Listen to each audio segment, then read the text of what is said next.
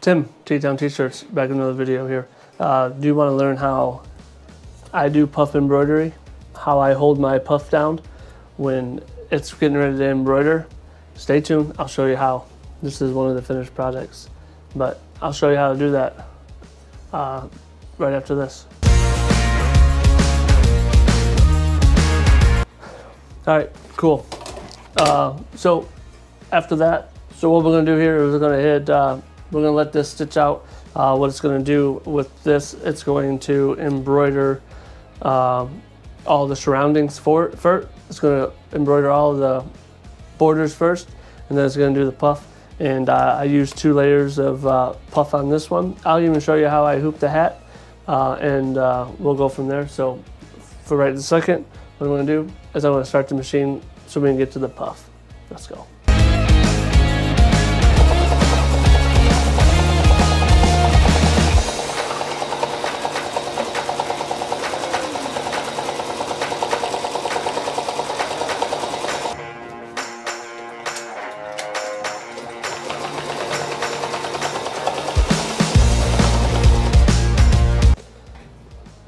Out of bobbin.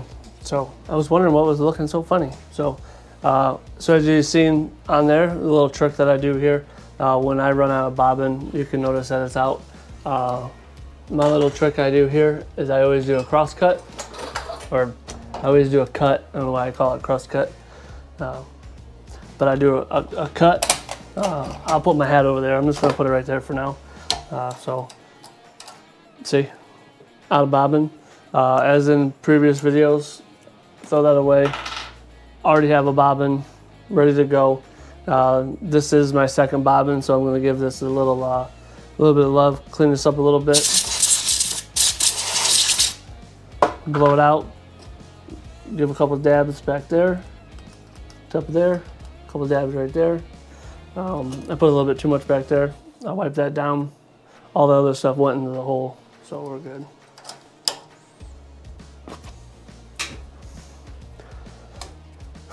Now we'll load the hat back up. Make sure all those are clipped so that this was not in the way so I didn't have to adjust it. So uh, I'm looking at the machine. I see how far I gotta go back. Um, you can float it. I just hit the stop button. Uh, since it stopped, I hit cut. I hit the stop button. It will go backwards. Um, so you watch it and see how far it's gotta go back. So it did the O. I went a little bit too far. I'm gonna go back here. Um, so I'm gonna put it in uh, float low. Okay, it's going over there. So now I'll go back to where it says stop and then I'll hit start.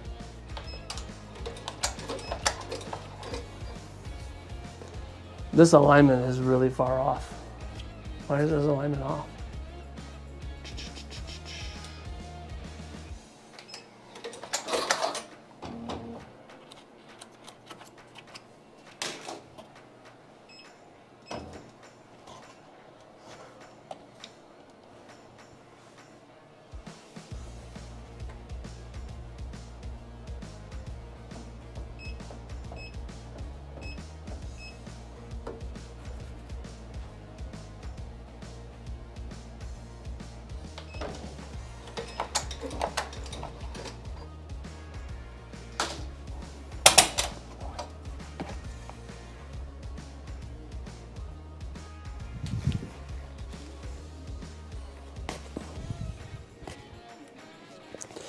So something happened, and uh,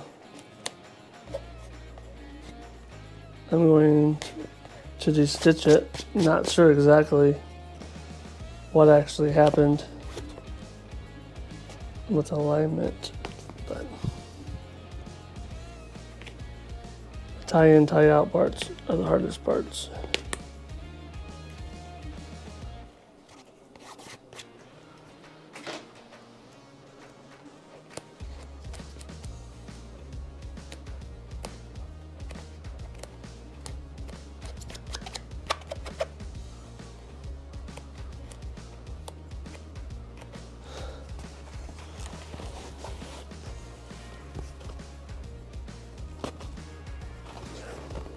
Get that tie in and tie out spot.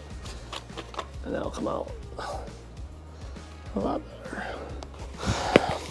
All right, so yeah, we're gonna try to get in my stitches here. Probably start here. Get that center stitch out my seam ripper.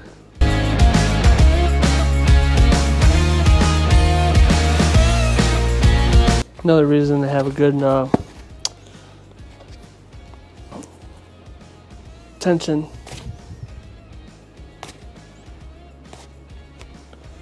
You have a good tension, you get enough room in there to pull these stitches out if you have to. I'm a little tight. Don't worry about the, the white coming through. Uh, I got a solution for that if it's not too bad.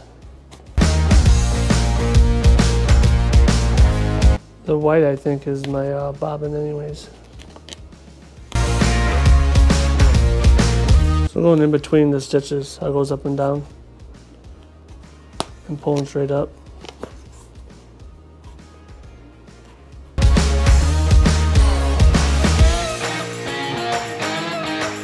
Something definitely went wrong with this E. Threw the whole design off. You definitely can see a lot of white in this E. And it's on the seam, so could make it a little harder. Sorry, I don't even know if I'm showing you. So I can't even see what's going on back there because there's so many tie in, tie outs.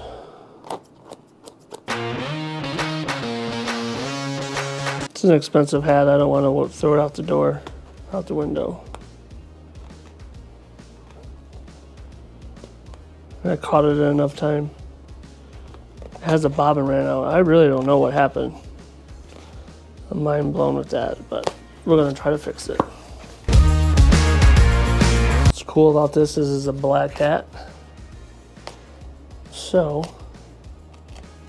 I have a trick to make it look like part of the hat, even if I leave a few stitches in there. That means I got, that means I got the, the centerpiece, or the, um, not centerpiece, center run where the bobbin was at.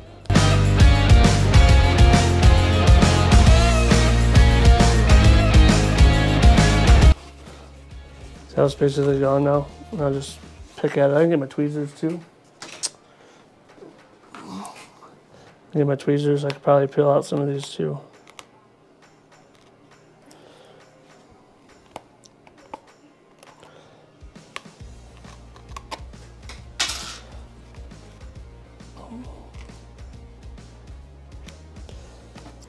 People have used uh, on the inside. They've used uh, like hair trimmers, peanut type of uh, like hair clippers. I tried mine that I used for my beard. It didn't work very well. But they were for my beard, not for this. Even though they're the same freaking things. All right, here we go. You can do this before, you can do this after. Uh, but this is a fabric marker.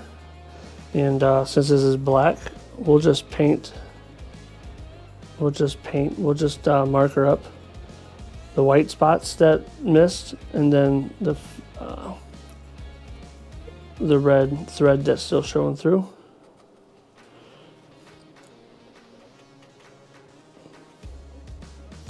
And uh, it should embroider in the same spot but you see how that's basically gone.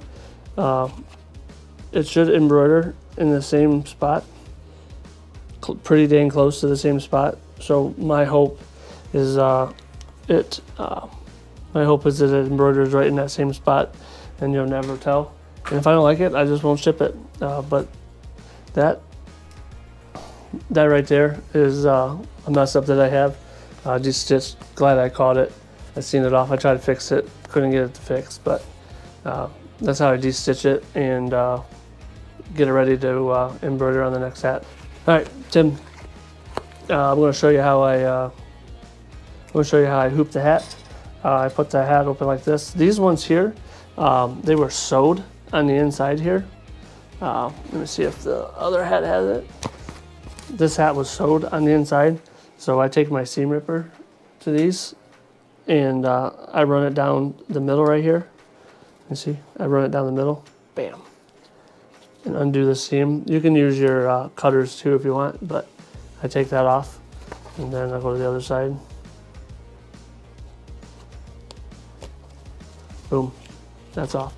Uh, could you restitch it when you're done? Yeah, I'm not going to. Um, wish it was back farther, didn't get in my way, but um, hope you can see. So as I'm hooping the hat, I'm pulling the bottom out, or the flap, lining it up. Now I'm taking this part and getting it lined up. I'm pulling, pulling tight, and I'm, I'm kind of like using my hand, going like this, my thumb. Now I'm lining it up there, okay? So now that's straight. So if we were stitching on this side, I would line it up a little bit better. Not a little bit better, but I would make sure a lot of that was straight uh, this way, but we don't have to worry about that. Uh, so give me a second, I'll put you on the other side. Okay, ready? So take the same thing, pull this out, pull this down. This goes underneath. I use my fingers here and make sure that clips over the top of that one. Hold them down. Doing like three things at once, okay? So I'm holding the hat, pulling the hat tight this way, and as I'm pulling up, it goes this way. So when you're pulling the hat, it straps inside there. Right, so I'm off a little bit. I'm okay. I will adjust it when I get on the machine. Um, so as long as it's straight this way, which it should be, and this rides right along the brim, right in front of the brim. So I'll show you that. So right across the brim. Right across. So if we were stitching on here, I would uh, I would take uh, clamps and clamp that, but we're not doing anything on the side, so I leave it. And uh, now let's mount it to the, the machine. Take the hat, go sideways, in, turn, and uh, now I'm looking at this a little bit more and we want to put a little more uh, of this fabric marker on here. All right. All right, so snap that in. I use my palms. I use my palms against this and then you tap, make sure that's there. Tap down here, lined up. Uh, we're gonna we're gonna realign this because oops, wrong thing. We're gonna yeah, I'm gonna do that. I'm gonna put it back on needle number one. And you see how I was off? That's okay. That's okay. We'll just move move the machine over. And then I gotta go down. Okay. Now I'm gonna run a trace. Way too high now. Yeah, there go down. I just had an issue with my machine that I'm, I'm almost fixing. So, still a little high. Yeah, we gotta go down more.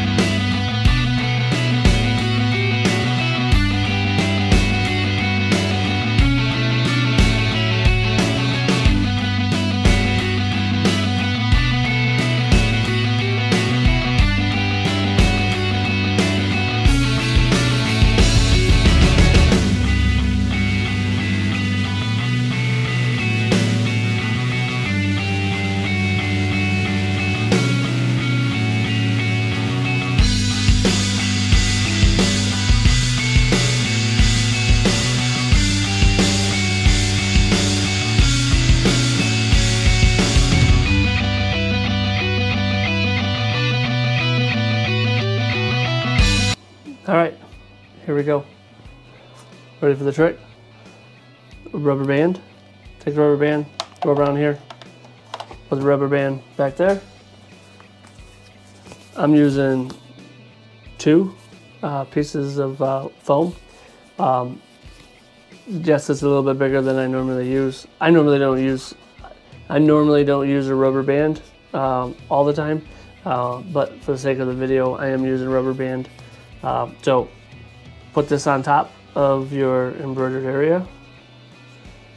Take the rubber band, slide it, slide it up a little bit on the bottom. Okay. See that? Your foam will stay in the same spot as long as this is not going to get embroidered when it goes in there. Okay, so rubber band goes all the way around like that. Rubber band goes all the way around like that. Now we'll hit start. This has a uh, tack down stitch, alignment stitch, so it'll go all the way across all the letters.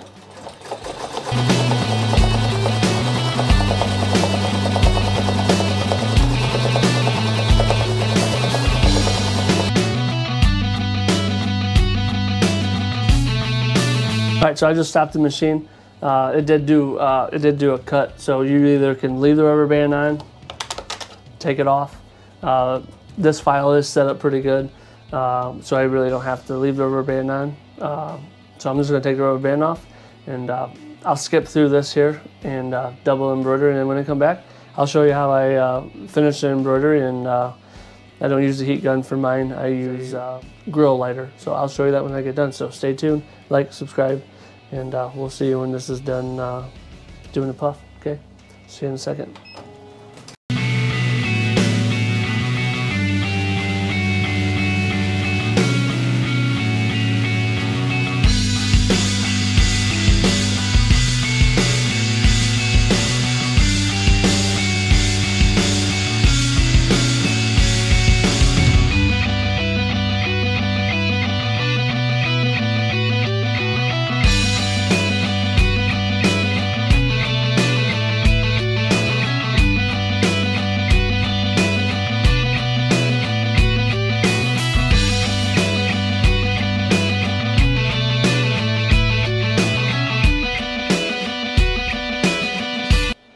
You can notice, some of the uh, thread started shredding up there, uh, right there. So uh, either it's dirty down there or uh, it's catching into somewhere here. And uh, what we're gonna, just going to do is we're going to take the thread, uh, we're going to hit the cut pull out a little bit, feel it, see if there's any kind of tension in there. There's no tension in there. It might just be whatever. Uh, you can clean your blade out or the eye out a little bit. Take some air, blow it out, and we'll rethread it. Um, when I rethread, uh, I don't do all the extra stuff. I thread it, make sure I have enough out, and then I just let it dangle there. If we're gonna go backwards again, and as I told before, uh, let me close this. Um, and when I told before, all I'm gonna do is hit the stop button, then we'll go back, watch the screen, see how far I gotta go back. Uh, it's a little tough with this one because it's black on black, so when it's going back, it doesn't show uh, it disappearing, so it's hard to see. But uh, we're gonna start back uh, where I just stopped at that, and we'll see if it went back far enough. Yep, went back far enough. Another trick for you. Uh, when it frays, how to go back, all that good stuff. So, almost done.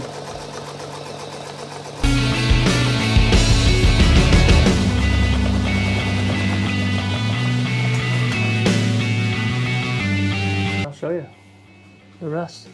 Uh, take it off the machine. Let's take it off the machine. So, here we go here. Hopefully there's enough light in here. I didn't turn on my overhead light. Let me turn it on. Let's see. All right. Hopefully there's enough light. Hopefully I don't overpower uh, what I got going on. But there's the, the puff. Uh, can take it off the hat hoop, obviously. Off the hat hoop. I normally get the next hat going, uh, but it's a youth hat, so I'm gonna go a little bit smaller with the logo. Uh, hopefully it works because it's a youth hat. It definitely needs to be a little bit smaller. Uh, but when I peel these off, I like to go into the uh, into the holes. So when I'm peeling here, I'm to go here, here, and then this one I'm going to try to go this way. So it peels into uh, the foam. So like that, you see that right there? So I'm to try to go this way so it goes all the way up to the edge and it cuts where it's, where it's cut. So not too much to uh, clean up from here. Throw that away. There's one little tail here. And uh, that one little spot was on uh, the whole project. So uh, probably something in the digitizing. Uh, so yeah, so I'm just gonna take this and uh, find the rest of them. I'm gonna make a mess on my table here. Um, one thing about using two layers of foam, and I get my foam from Hobby Lobby, or not Hobby Lobby, but I get my foam from uh, Joann Fabrics uh, in town, the stuff I get. Uh, I do like the, the thicker stuff I got from Madeira.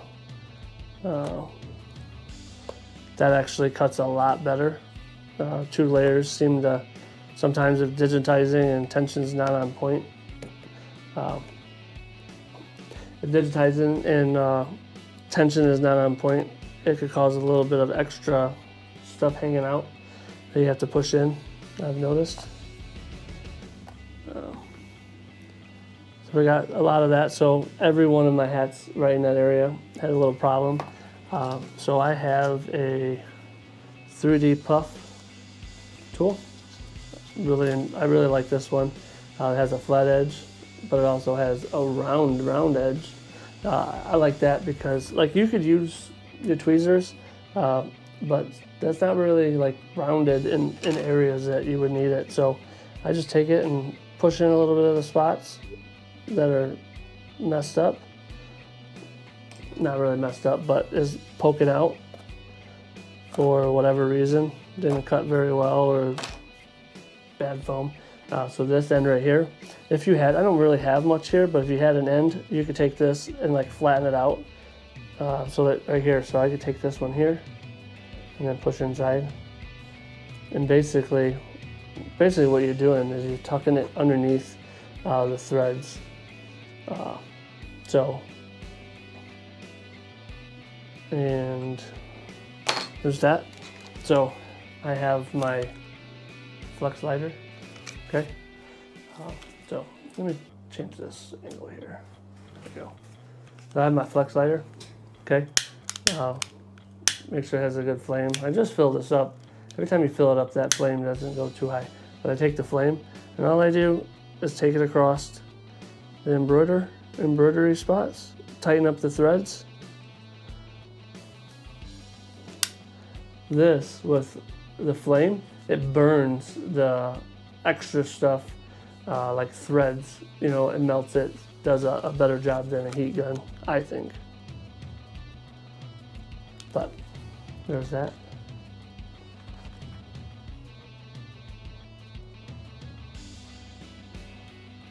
Uh, and then the inside here, same thing. I like the curved one, so you can bend it like this.